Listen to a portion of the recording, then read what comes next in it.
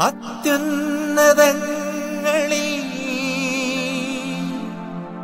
ദൈവത്തിന് മഹത്വം.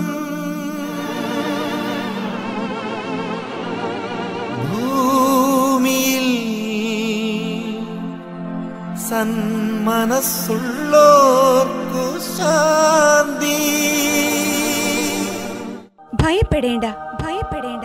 ഇതാ സകല ജനത്തിനും വേണ്ടിയുള്ള സന്തോഷത്തിന്റെ സദ്വാർത്ത ഞാൻ നിങ്ങളെ അറിയിക്കുന്നു. ദാവീദിന്റെ പട്ടണത്തിൽ നിങ്ങൾക്കായി ഒരു രക്ഷകൻ കർത്താവായ ക്രിസ്തു ഇന്ന് ജനിച്ചിരിക്കുന്നു. ഇതായിരിക്കും നിങ്ങൾക്കടയാളം പിള്ളക്കച്ച കൊണ്ട് പൊതിഞ്ഞ് പുൽത്തൊട്ടിയിൽ കിടത്തിയിരിക്കുന്ന ഒരു ശിശുവിനെ നിങ്ങൾ കാണും. ദൂതന്മാർ അവരെ വിട്ട് സ്വർഗത്തിലേക്ക് പോയപ്പോൾ ആട്ടിടയന്മാർ പരസ്പരം പറഞ്ഞു നമുക്ക് ബേദ്ലഹേം വരെ പോകാം. കർത്താവ് നമ്മെ അറിയിച്ച ഈ സംഭവം നമുക്ക് കാണാം.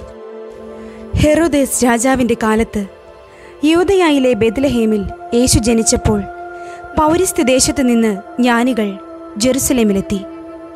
കിഴക്ക് കണ്ട നക്ഷത്രം അവർക്ക് മുൻപേ നീങ്ങിക്കൊണ്ടിരുന്നു.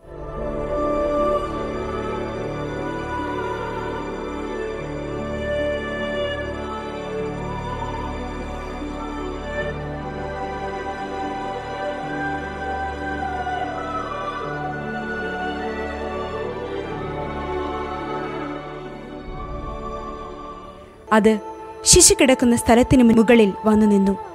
നക്ഷത്രം കണ്ടപ്പോൾ അവർ അത്യധികം സന്തോഷിച്ചു. അവർ ഭവനത്തിൽ പ്രവേശിച്ച് യേശുവിനെ അമ്മയായ മറിയത്തോടുകൂടി കാണുകയും അവനെ കുമ്പിട്ട് ആരാധിക്കുകയും ചെയ്തു. നിക്ഷേപ പാത്രങ്ങൾ തുറന്ന് പൊന്നും കുന്തിരിക്കവും മീറയും കാഴ്ചയർപ്പിച്ചു.